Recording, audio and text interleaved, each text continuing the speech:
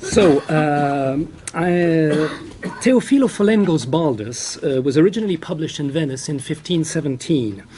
The Benedictine monk's mock chivalric epic, composed pseudonymously under the name Merlin Cocai, is deemed one of the major literary sources of François Rabelais' works. The tale narrates in macaronic hexameters the deeds of a vulgar ruffian, Baldo, and his miscreant band of friends as they ramble through Italy, the chief province of the world, and travel on the high seas to the nether regions of the earth. My paper ventures to suggest that the geographical imaginary of Renaissance travel and reading practices were tightly interwoven, as most cosmographical and geographical subject matter drew inevitably on visual thinking. As the humanist scholar Justus Lipsius claims, one, I quote, could further and increase his learning by peregrination or travelling by the eye, which is either by reading these books or by being an eyewitness of the very same things which he hath read in books. Thus, like the traveller walking through strange and foreign landscapes, the movement of the reader's eye will explore the text which slowly merges into a map, deploying itself before the reader's gaze as he wades through the confines of the Folengian text.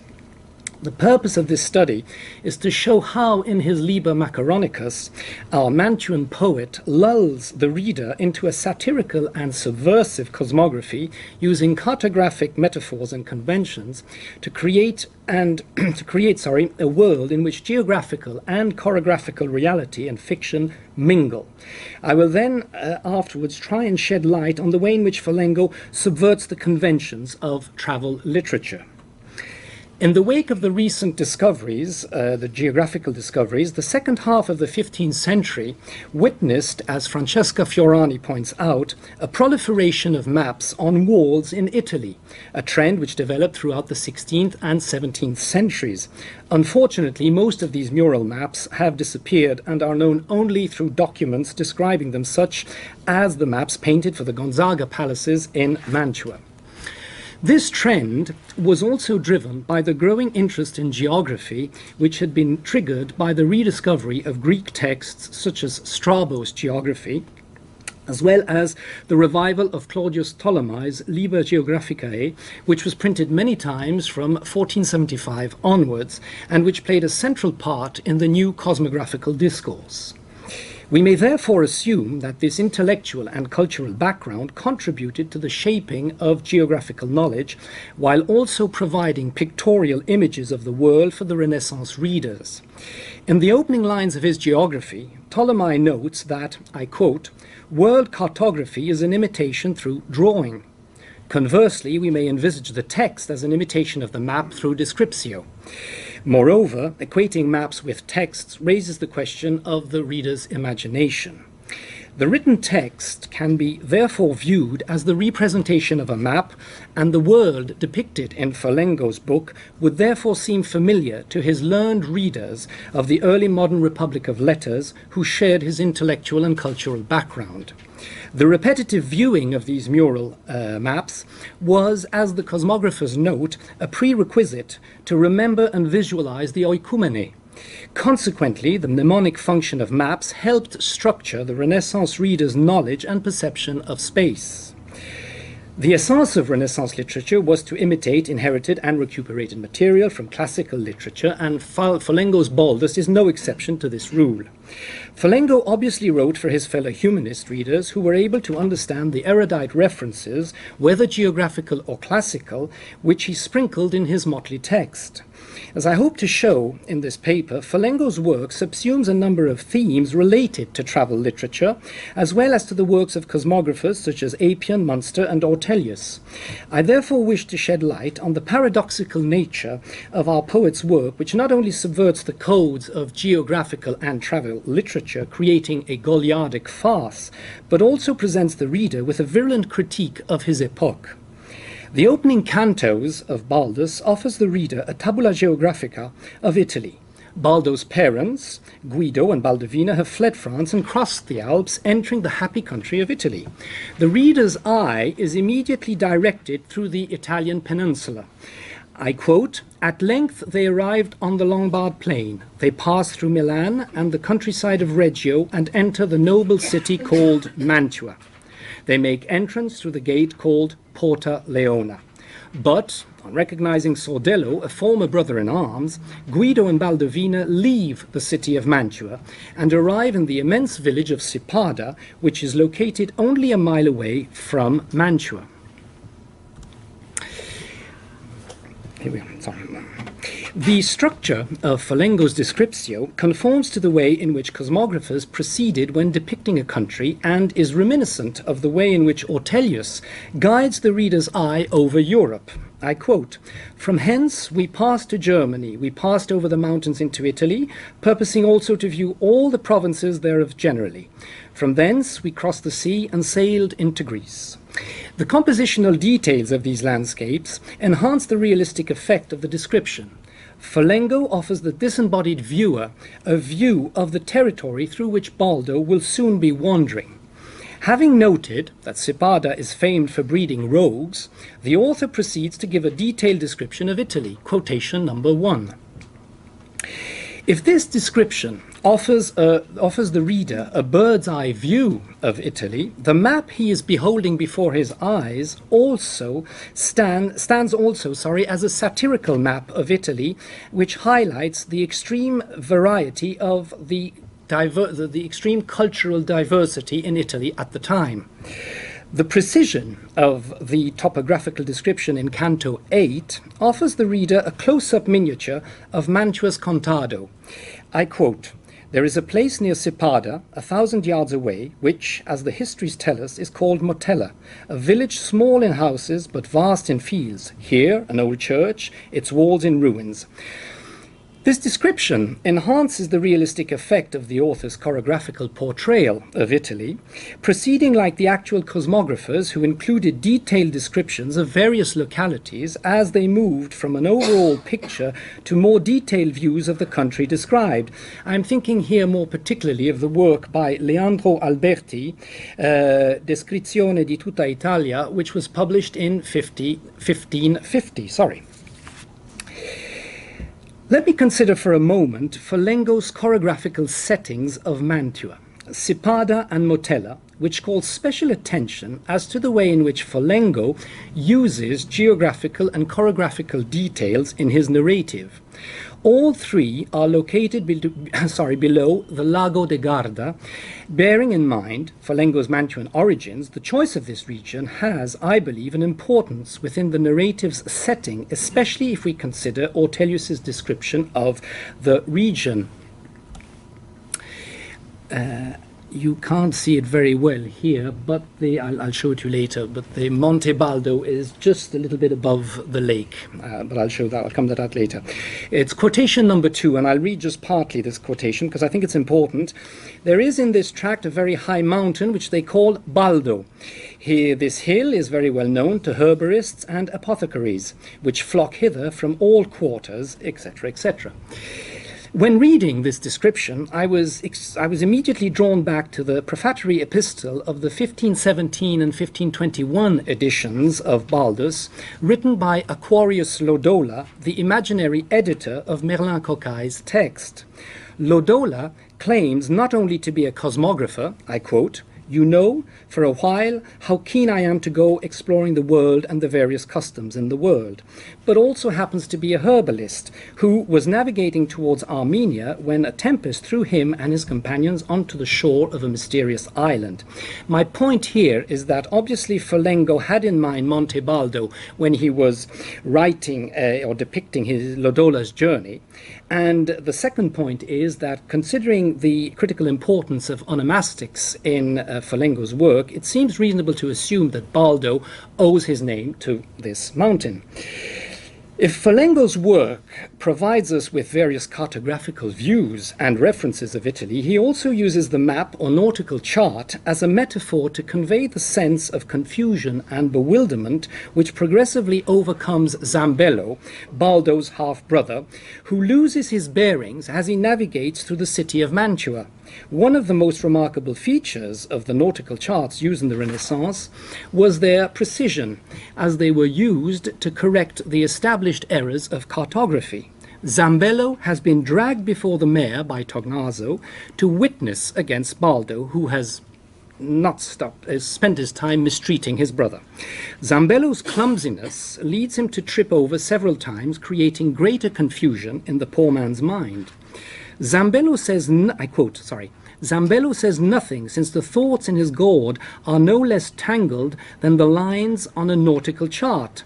Zambello, a peasant from Sipada, is unable to navigate within the urban setting of Mantua, and the codified rules of the city are as cryptic to him as the complexity of the tangled lines drawn on nautical charts.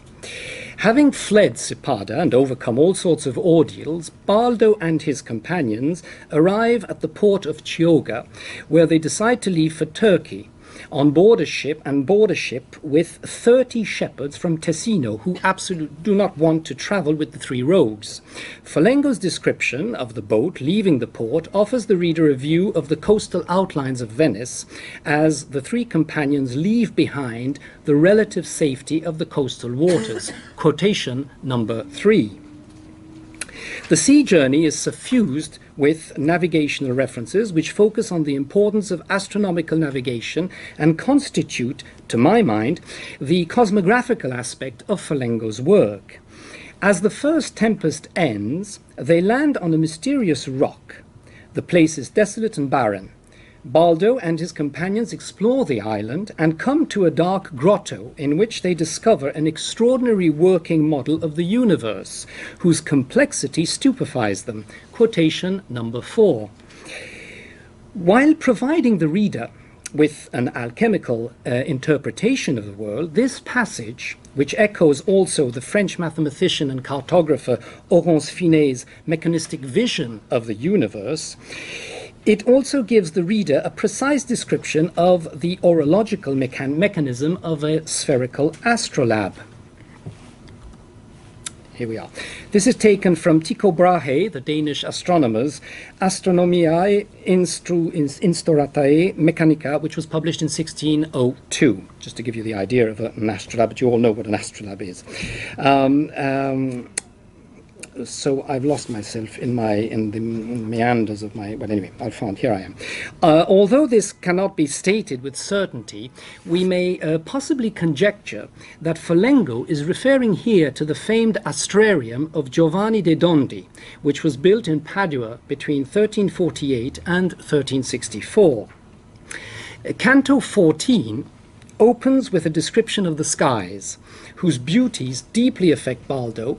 Before such a sight, our hero shares his fascination with Cingar, the rogue, and questions him on these wonders. Cingar turns out to be a learned authority on astrology, as his following words attest to. Quotation number six. Cingar's speech induces fits of laughter by Leonardo, who obviously mocks astrologers. Cingar retorts by emphasizing the importance of the moon, which provides navigators with precious weather indications. Renaissance cosmographers, from Apian to Ortelius, stressed the importance of astronomy in the comprehension of our mundane world and focused also on the importance of astronomy in navigation matters, uh, which is clearly underlined here by Simon Giraud in his book entitled Globe du Monde, quotation number seven. But Cingar's astrological description of the heavens soon turns into a bawdy and ludicrous description of the planet's lewd behavior. Quotation number eight. Folengo offers the reader his own Almagest in the shape of a satirical map of the celestial universe, portraying a world where the gods behave like men. Astronomical phenomena had already been previously parodied in Canto 8 during the fight between Lena, Zambello's wife, and Berta, Balder's wife, as Folengo provides the reader with a satirical picture of a solar eclipse. I quote, With her, Berta, with her feet sticking up in the air, she remains entangled, with her hindquarters exposed. She blocks out the sun, and contrary to nature, this moon outshines her husband. Lena does not waste time. She injects the hot distaff into the eclipse that has darkened the globe. As they travel towards hell, the narration clearly focuses on the porous boundaries between real and fictional realms, as the characters move imperceptibly from one world into another, which was not, of course, at the time surprising. As Jean Marc Besse explains, the surface of the earth was, I quote, un lieu ou une aire de communication avec cet autre temps qu'est le temps de l'esprit. After having destroyed Gelfora's realm on their way down to hell, Baldo and his companions come across a city which the narrator compares to Venice. Quotation, sorry, I'm going there. Quotation number nine. In other words, hell, which is an isolated world, remains yet very much like our own mundane world, a world in which one gets lost in a maze of paths and streets which lead us, however, all to our finest, final destination, death. Moreover, Folengo's description of Venice bears a certain resemblance with the printed plan of Venice by Jacopo de Barbari, which was published in 1500. I shall not dwell here on the landscapes depicted as our heroes descend into hell. However, it is interesting to note that Folengo, like most cosmographers, I'm thinking here of Cuningham or Munster, locates hell in the bowels of the earth.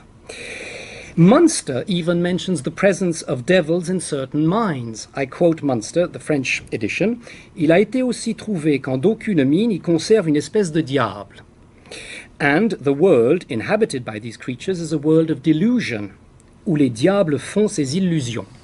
Having examined Folengo's cosmography, I would like briefly now to uh, see the way in which the poet subverts the narrative conventions of travel literature travel literature was inherently part of cosmograph- cosmographical and geographical science, and whether fictional or not, this literary genre was believed useful to provide the reader with geographical knowledge while also deemed a means of self discovery. Travel literature rested on the essential paradigm of first hand observation and focused on the credibility and authority of the traveler as a direct witness. The plea for autopsy was a key to the efficiency of the message. The author's discursive construction reifies what the readers cannot see as he guides them on their eye travel through the, an imaginary itinerary. The book I used here as a kind of uh, theoretical frame is was published in 1574. That is 22 years after the Vigaso Cocaio edition of Baldus, which I'm using here. Uh, it was it was uh, written by Hieronymus Turler, Turler, and it was entitled. It is entitled De Peregrinazione Agro Neapolitano. The book discusses the art of traveling in detail and proposes, I believe, a rather reliable theoretical framework on the way in which travel literature was perceived in Renaissance. Folengo's tales, uh, tale sorry, pertains to the canons of the utopian travel genre. A group of companions from all walks of life overcome numerous obstacles monsters, witches, and devils. The narrative offers also a descriptive itinerary for the would be reader traveler uh, as the peripatetic peripatetic sorry, narrative unfolds. The final chapter of these peregrinations implies the return of the traveler to the known world not returning would render the whole travel meaningless. While being an essential aspect in fictional narratives, it is also essential to non fictional narratives, such as the memoirs of the Spanish conquistador Bernal Diaz del Castillo, the true history of the conquest of New Spain. From the outset, Folengo subverts the conventions of travel literature as he plays on the popular view, sorry, of travelers' bad reputation and their inability to stay put. Unrest characterizes Baldo from a very early age on. The little devil gallops here and there. He can't stand still. Travellers were also viewed as dissemblers who disrupt society in the same way Baldo and his band of friends wreak havoc wherever they go, even in hell, where they destroy Gelfora's realm after having shred thousands of bodies into pieces and dispatched a countless number of heads up to the stars. Paradoxically, Folengo does not subvert the didactical aspect of travel literature, which was the genre's main characteristic. Travelling was viewed as a means of discovering the transient nature of all things and a way of awakening the reader's mind to the allurements of sundry pleasures. During his peregrinations, Baldo is made aware of his fate. And as the didactic dimension of travel literature surfaces, it lets the reader know that there is obviously more to Baldo's tale than may be surmised. Moreover, by throwing light on the surrealistic feats of Baldo and his companions, Folengo clearly purports the absurd dimension of his tale, and Baldo's journey will bring him to understand the madness of the world in a way reminiscent of that of Sebastian Brant's Narrenschiff. Folengo's work seems to anticipate Ortelius's Theatrum, which presents the world as a stage ruled by madness. As Baldo's father tells him, I realized that the world is only a cage of fools. The latter remark brings to mind the latter remark brings to mind the famous so-called fool's head map, which portrays the world enclosed within a fool's head. This anonymous map was probably printed in, 15, in, the 1590s in Antwerp and bears resemblance with the cordiform map published by Abraham Ortelius in 1564. While comparing this anonymous Mappamundi with Ortelius's philosophical approach to geography, Jean-Marc Besse sheds light on the rather pessimistic message delivered by the Flemish cosmographer. I quote, La terre, I quote here Jean-Marc Besse, La terre est peuplée de fous au désir vain, ce n'est pas un lieu pour vivre ni être heureux. This rather grim view of human existence is correlated in the final canto when Baldo and his companions are led from the cage of fools into a giant pumpkin by a fool. Thus, while focusing on the grotesque nature of human life, Folengo pinpoints man's miserable condition in a bleak and hostile world. This vision may probably be explained by the historical context in which Folengo, Folengo's work was produced. To conclude, I believe that there is sufficient textual and contextual evidence to throw light on Folengo's awareness of cartographical and cosmographical matters, as well as on his substantial geographical knowledge. Like the works of cosmographers such as Apian, Finé, Munster, Ortelius, and Mercator, Folengo's work was impelled by a graphic imperative. He used geographical and cartographical references and metaphors as spurs which enhanced the vividness of his fabled world, a world in which the verbal and visual interfere with one another as they fashion before the reader's eyes a geographical map mingling fantasy and reality. Consequently, Teofilo Folengo's work clearly corresponds to what Barbara Bowen terms a narratipedia, a subtle combination of narrative and encyclopedia, as the poet ploughs a virtually boundless field of classical and cosmographical knowledge. Having journeyed through the Folengian text, the reader, like Ulysses Dante in the Inferno, has become an expert in worldly matters, a mondo esperto. Thank you very much.